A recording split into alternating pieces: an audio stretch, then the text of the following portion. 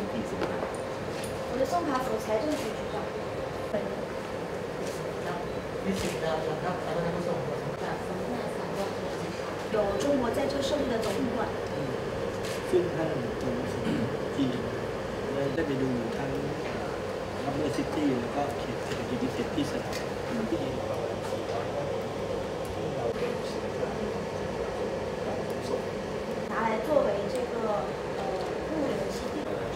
船呢有一件第二个港口啊，就是 อ่ะจะสร้างท่าเรือแห่งใหม่นะคะทำให้เชื่อว่า มาแล้วก็จะมี